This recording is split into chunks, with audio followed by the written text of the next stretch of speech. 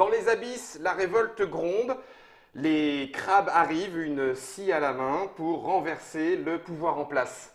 Ils sont conspiracy. Bon bref, c'est le jeu dont il est question aujourd'hui. J'ai tenté de raconter une histoire avec le titre. J'ai fait ce que j'ai pu. C'est pas marqué sur la boîte et pourtant on retrouve avec Abyss, mais attention, ça ne s'appelle pas Abyss. On retrouve Charles Catala et Bruno Chevalier. C'est ça. au- Attention, Bruno Chevalier existe.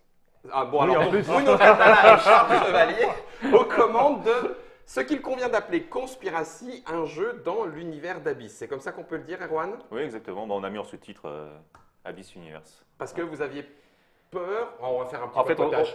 Alors vite fait, oui, on avait peur que les, les gens euh, assimilent euh, ce, ce- ce jeu-là comme une version euh, miniature de Abyss, ce qui n'est pas du tout le cas, c'est un, un jeu vraiment différent. Donc on peut le placer dans l'univers d'Abyss. Voilà. D'ailleurs, messieurs, a-t-il été pensé dans l'univers d'Abyss? Non, On va faire un papotage pour avoir Non, non, de plus amples euh, informations. on attendait que tu présentes Erwan en fait, c'est juste. Non, mais par contre, par contre, en fait, Charles et moi, euh, un univers sous-marin, euh, des gars, des eaux. C'est donc C'est un, jeu de mots, c'est un jeu de mots sponsorisé par Monsieur Cap à l'Ouest qui l'a envoyé par mail. Ah, c'est ça ton secret en fait. Il, il se passe, Erwan, J'ai des, j'ai des auteurs. J'ai des auteurs. tu d'être Je- venu. Ça je fait viens longtemps jamais. Bah oui, mais ça fait longtemps qu'on t'avait pas vu, Eh, Erwan, merci. du côté de chez Bombix. Merci d'être là. On va donc découvrir ce nouveau jeu Oui. de Charles et Bruno dans l'univers d'Abyss. Et vous allez vous rendre compte par vous-même qu'il est suffisamment différent et Enfin, même, c'est oui, c'est un autre jeu, C'est même si c'est illustré ouais. par Pascal Kido. Il a refait des. Oh, arrête, Guillaume, c'est un papotage, on verra ça plus tard. Explication, Ouais. on se concentre. Qui le fait? Charles, Bruno, vous parlez à deux voix Ouais. Bruno, vas-y. Donc, dans ce jeu, nous allons chacun constituer notre chambre sénatoriale. Chambre sénatoriale qui va être composée de seigneurs. Donc, on va retrouver de façon classique les cinq couleurs de seigneurs qu'on connaît dans Abyss. Mhm. Les cinq familles, d'un point de vue distribution dans le paquet, sont strictement équivalentes. Hein, on reviendra sur les valeurs, etc. etc. Je vais d'abord expliquer comment on constitue sa chambre, Mhm. puis comment on marque les points, et enfin, après, j'expliquerai comment on prend les cartes. Pas à la main, non. À la main. Non. Si à la main, mais avec une méthode Après, particulière. Oh non. Ça va être Donc, Charles. Ça va être très on va, long. on va récupérer des cartes, j'expliquerai au fur et à mesure après comment, mais pour constituer une chambre océanique, enfin une chambre sénatoriale. Cette chambre sénatoriale, elle va être composée de 15 seigneurs. Mhm. Le premier que tu prends, tu vas forcément le placer en haut à gauche. Je regarde où est la caméra pour que Germain soit prête. Et en plus, ensuite, au fur et à mesure où on les prend, on va faire une ligne. De La 5. première ligne va être composée, être composée de 5 seigneurs. Ok. Puis quand on arrive au cinquième, on va forcément passer à la ligne du dessous et on va faire une pyramide inversée puisqu'on va de plus en plus profond dans les abysses. Et donc, après, on fait des choses comme ça, d'accord? Donc après, la deuxième ligne, elle va faire 4 seigneurs. Ouais. Je trichais un peu pour les points. Tac, 3, tac. Ensuite, on va faire 3. puis 2. On n'a pas commencé à jouer, tu commences à tricher. Quoi. Mais oui, mais c'est pour expliquer. En sachant que tout le monde le fera ou quelqu'un pourrait avoir Non. une pyramide incomplète? Alors- Quelqu'un peut avoir une pyramide incomplète. Mais en fait, on va jouer jusqu'à ce qu'un joueur ait terminé sa pyramide. D'accord. Donc imaginons qu'on soit en fin de partie et puis que j'ai ma pyramide devant moi. Donc Mhm. quand je vais composer ma pyramide, je vais faire quelque chose comme ça et on va tous faire ça euh, devant nous, on va faire notre propre pyramide. Au ici, on a des petits tokens. Mhm. Quand je prends un premier seigneur d'une couleur, c'est forcément le meilleur de cette couleur-là. Donc je mets mon token dessus pour indiquer que c'est celui-ci le meilleur seigneur de cette couleur. Les valeurs vont de 1 à 6. Puis si jamais j'en reprends un plus tard qui a une valeur supérieure, je décale mon token. Donc là, ce n'est pas le cas pour les violets. Donc le marqueur serait resté ici. Bleu, j'aurais commencé ici, puis je serais passé là. Mhm. D'accord? Vert, j'aurais commencé là, et j'aurais terminé ici. Mhm. Jaune, j'aurais commencé là, et j'aurais terminé ici. Mhm. Et rouge, j'aurais commencé là, et je serais resté ici. D'accord? Ok. On voit aussi que sur ces seigneurs, il y a des petits symboles en bas à droite. Alors ceux-là, j'y reviendrai plus tard, hein, ces deux symboles-là sur les 0 et les 6. Mais il y a des clés essentiellement et des perles. Quand je récupère une première clé, il ne se passe rien. Quand je récupère une deuxième clé, on regarde si elle est égale, si elle est identique à la première. Là, ce n'est pas le cas. Il se passe Donc, il rien. ne se passe rien. Donc, du coup, quand je récupère une troisième clé, elle est forcément équivalente à une des deux précédentes. Donc, ces trois clés me permettent de prendre le contrôle d'un lieu.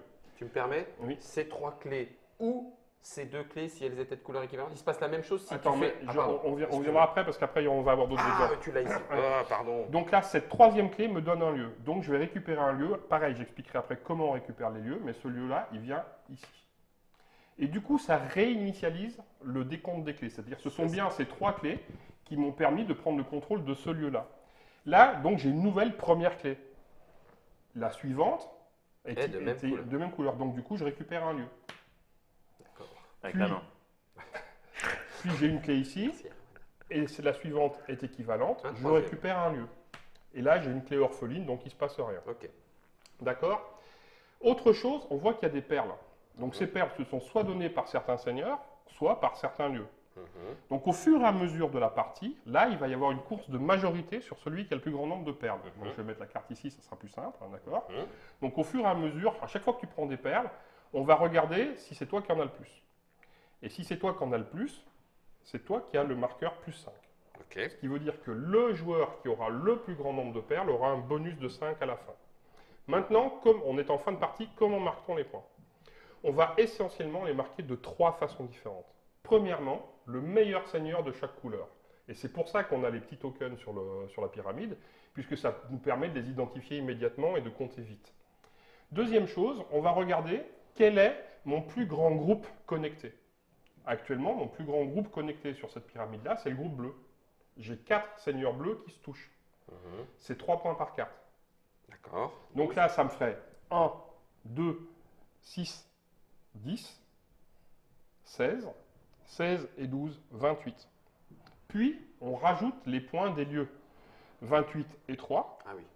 d'accord, euh, 31, 36, et celui-ci, il me fait 3 points. Donc 39. 39 points. Et si c'est moi qui ai la majorité en perles, j'ai 5 points de bonus. D'accord. On fait ça, chacun fait ça. Le plus fort total à la surprise générale l'emporte. D'accord.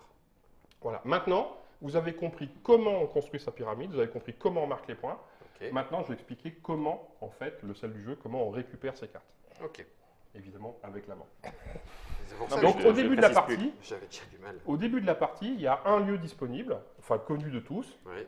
Le marqueur ici est sur 0, d'accord Donc personne. Et on a une pioche de cartes. Et c'est là où on va revenir dans des mécaniques abysséennes que, que- Que les joueurs pourraient connaître. Ah, Enfin, du moins, on est dans du stop ou encore qui va ressembler à un mixte entre la façon de prendre les lieux et la, la façon de prendre les, euh, Seigneur. les seigneurs. Enfin, pas les seigneurs, les alliés, pardon.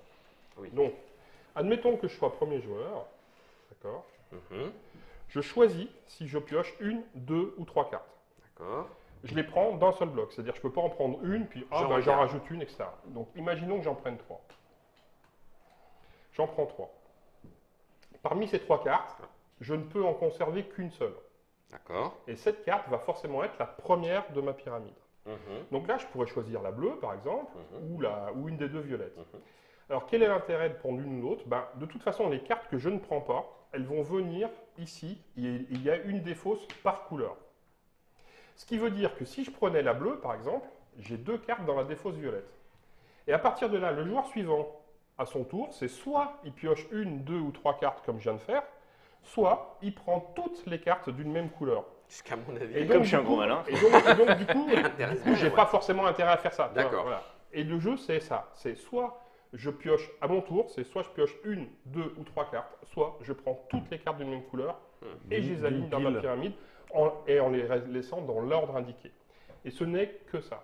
Et toute la, toute la, tension, quoi. toute la tension se fait à, à cet endroit-là.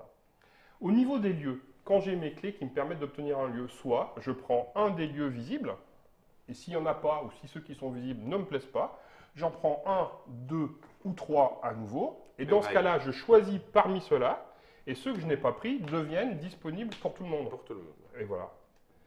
Et on va jouer comme ça jusqu'à ce qu'un joueur donc ait terminé sa pyramide. Et quand il a Quand terminé. il termine sa pyramide, tous les autres ont un dernier tour de jeu. D'accord. Et c'est tout. Et des comptes de points. Et des comptes de points. Donc ça va vite. C'est- Si tu veux, on va retrouver, enfin à mon sens, hein, on retrouve l'esprit d'Abyss, Ouais. parce que c'est ce stop ou encore permanent qui nous donne ses petits choix, etc. C'est ça, dès, que contre- tu, dès que tu fais quelque chose, C'est tu as ça. toujours des, des mini-choix à faire, et c'est c'est ça qui faisait le sel d'Abyss. quoi. Par contre, c'est dynamisé, c'est c'est 30 minutes la partie, et euh, tu les enchaînes, et puis voilà quoi. Alors, dynamiser dans le sens euh, oui, en termes de temps. En Parce termes de temps, qu'après, en termes de réflexion, c'est pas euh, Abyss Blitzkrieg. Non, non, absolument pas. C'est ça, c'est c'est- c'est- c'est un autre jeu. Conspiracy, c'est Ouais, un autre jeu, Conspiracy, d'accord. un Donc, autre jeu. on peut continuer de jouer, Charles, à Abyss. Ah, bah évidemment. Bien sûr, parce qu'il y a, il y a- il y a les, les- les pouvoirs des seigneurs. Alors bon, on va après parler des, des petits pouvoirs là, mais bon, qui ne sont pas euh, les- forcément les mêmes qu'à Abyss. Il y, a, euh, il y a beaucoup de différences. Il y a une différence de rythme. Euh, par contre, on retrouve effectivement un style, une manière de jouer, une tension euh, Qui qu'il a- y dans- a dans son grand frère. Voilà, exactement. Et donc, je vais rajouter deux explications maintenant, maintenant qu'on sait tout. les numéros, Sur les 6 Ouais. et sur les 0, il y a un Tous- petit effet tous les spécial. 6 et tous les Tous 0. les 6 et tous les 0. En fait, le 6, il n'y en a que un par, par, euh, famille. famille. Les, les 0, il y en a deux par famille, je crois. Euh, donc, au moment où tu poses un 0 dans ta pyramide, pardon, excuse-moi, Non, non, je. Voilà. tu peux, si tu le souhaites, échanger la position de deux cartes dans ta pyramide, éventuellement dont lui, mais pas forcément, d'accord Mhm. Seule contrainte, les cartes avec les clés ne bougent jamais. Ouais. Bah, sinon, de toute façon, en plus, ça foutrait le bordel. Euh, on est d'accord, on est d'accord. Euh, le 6, c'est différent. Le 6, c'est la meilleure carte dans chaque couleur. Donc pour toi, c'est 6 points garantis. Et 6 points, c'est quand même pas mal. Et donc, du coup, quand tu places un 6 dans ta pyramide, tu as une contrepartie négative qui fait que tu vas dépiler une carte de plus pour le prochain joueur. Donc ça peut lui donner un petit avantage. Ok. Euh, Voilà, et c'est tout. Qu'est-ce qu'elle est, ca- qu'est-ce qu'elle est clé? C'est les. Tous les, les, deux, tous les les, deux et les 3. D'accord. Les 4 et les 5 de tête. Non, il n'y a pas de Euh, 5. Il n'y a pas de 5. Les 3 et les 4, pardon, ont des perles. On des perles. Les 1 et les 2 ont des clés. Les 0 permettent d'échanger des cartes. Et les 6 te donnent une carte supplémentaire. euh, Et il y a pas de cinq. Et il n'y a pas de 5. Ça y est, on a tous les pouvoirs. Et donc, du coup, on a tout. Après, il y aura les pouvoirs qui sont sur les Oui, lieux. il y a les pouvoirs ça, on va des les lieux. ceux-là, on va les on les découvrir en partie. euh, Et puis, euh, Voilà. c'est, voilà, vous allez être habitué. Vous allez vous rendre compte que certainement il y a moyen de bonifier les perles. Vous avez certainement Bah, déjà- déjà, là, moyen on de bonifier commence, les euh, couleurs. On commence avec un premier lieu mis au choix qui n'a aucun effet mais qui fait 7 points. Voilà. Pour, pour montrer les Voilà. pouvoirs, c'était l'exemple. Voilà, hein, ça, ça vaut rien sauf 7 points. Bon, on va faire une petite partie. euh, parce que quand je dis petite, c'est pas dans l'intérêt. hein, c'est juste que, euh, effectivement, c'est du sizé une demi-heure. Voilà, une demi-heure, tu t'es cassé la tête avec plein de petits choix. En tout cas, c'est ce que nous proposent euh, Bruno Catala et Charles Chevalier. Petite précision par rapport à la boîte, ce sera donc dans la petite ludothèque, dans no- notre euh, gamme de boîtes euh, en métal embossé. Ah oui. Ça, c'est une boîte de C'est celle prototype. qu'on voit à l'écran. Voilà, tout En à fait. vrai, ce sera comme ça. Voilà, il y aura, les, on verra tout à l'heure, mais il y aura cinq couvertures, etc. Il y aura des, des figurines comme euh, Kraken, les extensions pour Abyss et tout ça dedans? Non. Non, faut pas charrier, hein, d'accord. je Mais à doutais, 15 fallait pas balles, charrier. 15 euros, À à 15 balles. Bah, un mars. Tant que tu me dis pas de Bounty, ça va. C'est chez Bombix. C'est illustré par Pascal Kido. C'est disponible à partir de. La fin d'année. C'est en cours de production, là. Donc D'accord. on n'a pas la date exacte encore de sortie. Mais... Ah, ça, je sens que, Erwan, si je te dis que je vais me précipiter dessus à, à Essen, c'est pas la peine. Alors on aura sans doute des boîtes qu'on va faire venir euh, pour Essen. On aura la réponse là euh, Dans en fin de quelques, semaine. dans quelques temps. Voilà. Nous sommes au mois d'octobre, début Mm. d'octobre. Essen approche. Peut-être qu'il y aura des boîtes de conspiracy à Essen ou pas. En anglais. Nous, on s'en fiche. On Et peut mais enfin, en même temps, il n'y a pas de texte. hein. Ouais, et puis en plus, hey, nous on va jouer dans la Trick Track Télé quand même. Ouais. même si c'est pas une boîte euh, embossée. Non. Conspiracy dans la Trick Track Télé. Non.